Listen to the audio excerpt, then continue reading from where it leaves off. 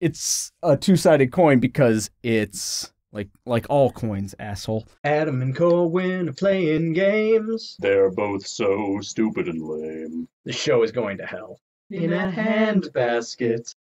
Hi everyone, I'm Corwin. This is Adam. You're watching Handbasket Gaming, and we're continuing to play Mario Odyssey. And more importantly, we're going to continue talking about cannibalism. Yeah. So I know that everyone was thinking, "Who boy?" I'd love I- to hear more about that. Yeah, like I just cannot get enough cannibalism talk. I think a bicep might be tasty. Well, see, I was avoid. That's why I think's trying to suck up all the juice from our city, the moon juice. He's trying to suck up all the juice from Dong City. Oh shit. Donk. Donk. anyway, I like I can't hear the name without thinking of a giant hammer hitting a uh, cartoon character on the head. That's really creepy looking giant It robot. really is. I really like, it, I, but it is. I love hate it. oh, and now no. I'm dead. I couldn't have dodged there. That was not me being bad at the game. Maybe if you were better at the game, time. the game cinematic would have let you dodge. Fair point. That's that's an unlockable. Dodging mid cinematic. Give me tanks. It is Or now that we give me death. tanks for the gifts that we are about to receive. Oh, cool. I like this mechanic. That's there you go. There you go. Yeah, this is. uh This is Oh. our chance. I was gonna say this is a really fun, uh, really fun, but really uh, kind of difficult boss fight uh, because of the tight time windows involved, and then I just like almost completely squandered a time window, and that would have been bad. But yeah, I was purposely sticking to eating organs rather than muscles because muscles are the easy, like you know, a nice rump steak. Yeah. Um, but You said rump steak. Oh, because like that's what you go for. You go for something that is like not overly toned because that makes it kind of chewy and fibrous, and uh, you want something that's well marbled. So Yeah, with the with the fats and the whatnots, it's shit. I know I always talk to you about this uh, pork recipe that my buddy Dino makes, but um, I'm excited to say that not only has he been like te- teaching me how to make it, Oh fuck!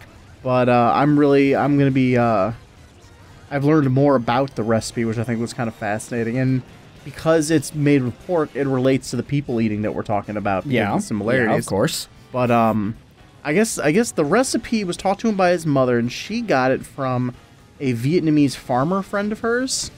That who- sounds like something out of like a movie, like. It's like, oh, she went, she ventured over and like, well, no, no, it wasn't like. I mean, actually, this guy sounds more like an adventure over. Here's she's an art curator, so she uh wow, that was quick. for um. I had way more trouble Wow. with that on my own game. yeah, good work. Woo! She she works as Donk. the uh, as as a art curator for the Cleveland Art Museum. Okay. So she actually does a lot of traveling, meets a lot of really interesting people. Okay. Their family also travels the world a lot. That's just something that their family does. We always joke about his sister because she only seems to date men from, uh, from South America and different like South American countries. Okay. Her most recent boyfriend is actually from Yugoslavia, so not South American at all. I was just gonna say, more I, I importantly, think your not thesis has fallen apart. So, um, Ah. but but this guy this guy apparently she met him. He was trained uh, God, as a chef as a chef from I love the pantsuit yeah, sorry. Uh, as as a chef from uh, uh like a, a French like French cuisine, mhm. and he took what he learned from over there plus some of his own home stuff. He created this like pretty easy but pretty delicious pork recipe, which then she taught to Dino, and then Dino has been teaching all of his friends. Our, our buddy Corey actually is taking that pork recipe and putting it in his restaurant. And he's Huh. just going to be selling it there. And I, I, I told Dino, I was like, you better be able to Get get, that cut. for free whenever get you your get cut, there. son. Got to get that cut. Actually, Get he that cheddar. We, we've already and decided. not literal cheese, because we, have already made the, the group decision that that particular recipe is what's going to unite the. We're, we're going to get we're going to get that pork recipe to Israel and Palestine. Traditionally, don't eat pork, but we're pretty sure we can convince them, and we'll stop all war if they I- eat this pork recipe. I am amazed that I did not make the connection to, hey, pork? Really? oh, God. Okay, so now she's planning a festival and she wants four backup musicians. Let's go catch us some musicians. Where can I find one? I don't know, but jam with this guy. He seems pretty cool. Yeah, indeed. Even over the rhythm of the city, I heard you. Mario Pauline two talking. Been a while since I was able to be part of the city's festival. Been a long while. If she'll have me, you tell the big lady. Uh, she is very. She's she's slender. Thank you Hey, very man, much. she's big in personality. Give me your damn moon. she's big in personality. Actually, she's big because she's twice the height of Mario. Which that's an interesting. Uh, Well, Mario's from the Shire, so that explains why no, actually, taller than him. the well, I, I was going to say the current working theory, but it's the uh, uh, it's the theory from Game Theory, uh, YouTube channel that I watch. Um, essentially, because like they've done a lot of background about you know how tall is Mario based off of you know like here's the average height for this thing, and if you take you know this many pixels tall is this, and this many pixels tall is Mario, this that the other, and uh like they had landed at he's 5'10 but then this game came out and you know this happened. And he's just like well was i wrong forever or what the uh his working theory right now is that uh since this is new donk city uh reference to donkey kong people in this city have been eating the uh the banana hoard uh, from Donkey Kong Country, which is known to make things giant, These are all. and these are all Giant giant, donk humans. people, Like yeah. these these these donkey tho- these new Donkeyians are uh, are I'm like ten feet on, tall. That that's what I'm gonna do as my pickup line. I'm gonna let ladies know I'm from Dong City. I've been eating them dong bananas, and that's why I'm the biggest one on the block. yeah, you uh you you good luck with it. Please please videotape that. Videotape. Jesus, I'm 90. Um please Put that record on the video that. cassette. Perhaps you can use your Polaroid to capture each moment. your Polaroid camcorder because that's a thing. But yeah, please record that because I will absolutely. Those will be bonus episodes, guys. This is Corwin attempting and failing to pick up women who are not his fiance. This will be great. I actually used to do stuff like that. Not not not try to pick up like pick Sure up women, didn't. But the way that no, I I would pick them up. I'm very strong, but uh, I was uh, my buddy's wingman, and I would uh, just I would I would just go up to strangers when I was with him in public and just start trying to upsell them. Didn't matter who it was. It was just, hey mailman, let me tell you about my buddy Mark. He's hey, uh, female man, you. that too. But it was a lot of fun. I'm not sure if I've told those that story though on this show You before. have. So yeah, I'll refrain from doing Yeah. it again. But yeah, that's uh it might just be me, but is it like it- tell me tell me America and Corwin. Um is the idea of a wingman like horribly outdated cuz I feel like it is. Here's how I view it. The it is an outdated thing. However, we live in a society that has a lot of uh, insecurities Nope, and is very um like shy, nervous, ha- have other like kind of like lack of self confidence. Yeah. having a wingman, having a friend there who's like there to be like, hey, I know you're nervous about this, but I got your back. Let's keep you going. Well, yeah, like as an as an think- icebreaker. Yeah, I and I think that that's and I think that's the best use for something like that. yeah. I know as an example when I've act- legitimately been wingman before. I've I've never actually wingman for uh, like any of my dude friends. I was a wingman for my uh my lesbian friend, and I she would she would take me to uh, gay bars, and I would help her pick up chicks because I was uh someone people were comfortable talking with, and I would talk easily. So I'd strike up a conversation know. with somebody, and uh, then I would introduce her mid conversation somewhere Mhm. in there, and then it would normally work and worked out really well. Yeah, I guess that's actually it's more that the like the meaning of wingman wingman has changed over the years. Like cuz it used to be like back in the broiest of bro days, it was well, you know, I'm going to I'll, I'll take one for the team and, you know, go for the ugly girl so Yeah. that yeah, it's like that Yeah, that, that- is horribly outdated That- and that's terrible. just assholes being assholes. I think Yeah. I, I I view I view the term wingman as like yeah. your support because I feel like you can have a wingman for anything. Like like I could be like, um, hey man, I've got this job interview. I'm not I'm not obviously not taking you to the job interview, but like you can um, Come along with me. but but but you can like help me out a whole bunch of like, hey, how's you gonna do this? Because you're you're you're you're wingman to me. You got my back. You can go with me to the interview and hang out outside until I'm done, maybe.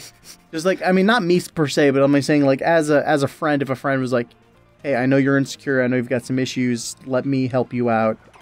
I got your back. You are in fact just the sh- oh okay. I thought that was just the most pointless thing to be caught on. no, it's actually kind of awesome, but it uh it cracks me up nonetheless. But no, I mean I understand your point, and it is a good it, because the term wingman normally makes people go, "Why is this guy such an asshole?" But well, and actually, oddly enough, some of the best wingmen are just there to be assholes because it's the it, it's kind of like look better the when- well, it's it's like the like the Have You Met Ted from Yeah. uh, How I Met Your Mother, where it's just like it, like the first point of conversation that you have with this new person that you met is, man, my friend's an asshole, eh? yeah. Also, I'm Canadian now, so that's neat, eh?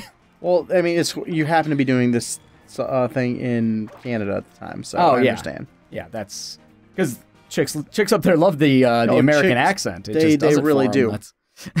Like I know every time I'm in Alaska, I am just like, "Hey, Canadians, what's up?" You okay? So do you not know where Alaska is, or do you not know where No, Canada I know, I know that Alaska thinks that they're American, but we know, we know. that was I- not the way you wanted that to go. That's a it. fireball.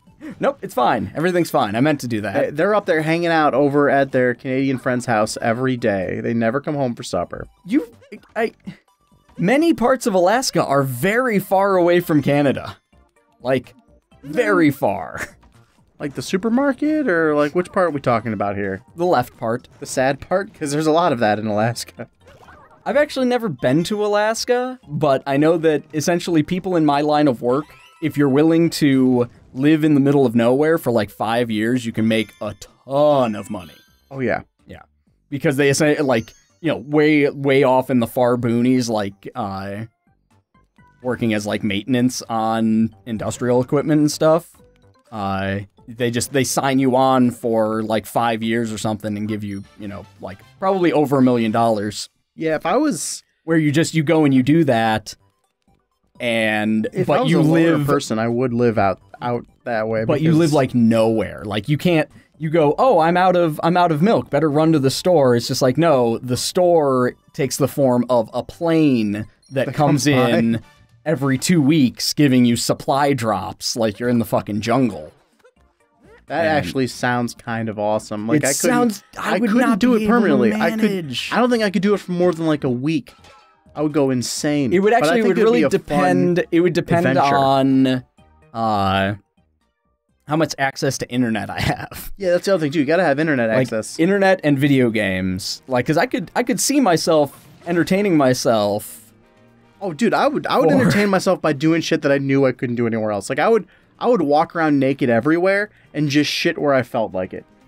I would be like, you know what? That I'm getting paid a million dollars to live out here in the middle of nowhere. I'm just gonna. and you just got fired from your million dollar job for walking around nude. In, well, actually, no. You would just die of hypothermia. What do you? Well, what if it's during the summertime? Maybe it's not so bad. Maybe It's I'll grow. Maybe I'll grow a warm coat. It's a frozen wasteland. I'll grow a thick Like, warm and- coat. and I'm not being insensitive. This is the like the part of Alaska that is a frozen wasteland. Which is why pooping in random places outside is totally acceptable. No one's out there anyway. Yeah, they're It's animals really good for the soil. If and they're doing it too. I'm being a group. I'm being a friend, Damn it. friendly group member. But no, I- mean, if they won't, if they're worried about the environment and won't drill for oil up there, then I feel like your contribution to that that ecosystem is going to be far more hazardous My my than or- any my drilling. organic, all natural contribution. yeah, there are a lot of things that are all will, natural. Will well, that definitely help the soil. given your diet, I don't think it counts as all natural well, my anymore. diet would be all natural because it'd be based off of what they're dropping on me. I can't be I can't be dropping my uh, Chipotle diet just out there because I don't got a Chipotle. Ooh, delivery Chipotle. That would be amazing. Actually, no, that would be terrible. We've discussed this in the office once before, where it's just like, oh man, wouldn't it be great if Chipotle would deliver? Just like, yeah, that'd be great until we shit ourselves to death. Yeah, That's like, and just, you know, just emptied out. Like, I weigh 10 pounds now because everything else is just gone. I can Turned imagine. Chipotle. I can imagine being out in the middle of nowhere and just slowly becoming friends with like uh with like a winter fox or a wolf that lived out in that area. And then you get eaten. And what are you, I'm- insane? And as we're slowly becoming friends, like we got that like we keep like 50 yards away from one another. you have like a mutual respect. Yeah, you just make but- eye contact. But little by little, he comes a little closer, like in Dances with Wolves, we start becoming friendly. But then, and then we play a little game, and then we both stop. We look each other dead in the eyes, and then we both squat and poop. And since I'm not wearing any clothes anyway, we can do it together. Okay. And that is how you get a wolf wing man. Taking it back to what we were talking about, and I think that having a wolf wing man is the best way. And then, Like, like, like, can you see, imagine is, being is that- like, all right, all right, wolf wing man, I've been really wanting to talk to Jessica for like six years. I'm assuming Jessica Here's- is a moose yeah, in this but- yeah, scenario. in this scenario, Jessica's absolutely a moose. Okay, good. So Just want to make you've sure we're got, on the same you page. got Wolfwing Man coming up, barking up, chasing, not barking, sorry, howling and chasing. yeah, you don't uh, want him barking up the wrong Jessica the tree. Moo- yeah, you definitely. There's no trees. Jessica's a lesbian. She's, he's barking up the wrong tree. Yeah, but he's he's he's scaring her, running this way, and then you're gonna jump out and be like oogity boogity, and then he's gonna pretend like he's actually scared of your naked fuzzy butt. Did you just say a scared? Yeah, and then he's gonna just run away, and then you just save Jessica from the wolf. And then later, like you know, years later, once you and the moose Jessica have gotten married, uh, you yeah, you like, and your "Hey, little my, moose my, babies my, are uh, my telling best the man story. is uh is a wolf. is is a wolf named Rebecca, and uh, oh, do it across the just there. oh, please, please, please. There, oh, Yes. yeah, nice work. That was cool. There's the fourth musician. I've been looking for this guy. like I've just been randomly getting moons for a while. Uh, so on the next episode. episode, we'll uh, we'll finish this out and we'll have uh have our full band. Uh, what do you guys think is our worst driving habit? Like things that we do on the road that we really probably shouldn't. Answer down below. We'll record the right answers and give shout outs to people who get it right. Give us game suggestions down there as well, and we will uh, try to play them. If you like our stuff, subscribe to the channel. If you have friends who would like our stuff, share the videos around. With everybody. Yeah, and your mother.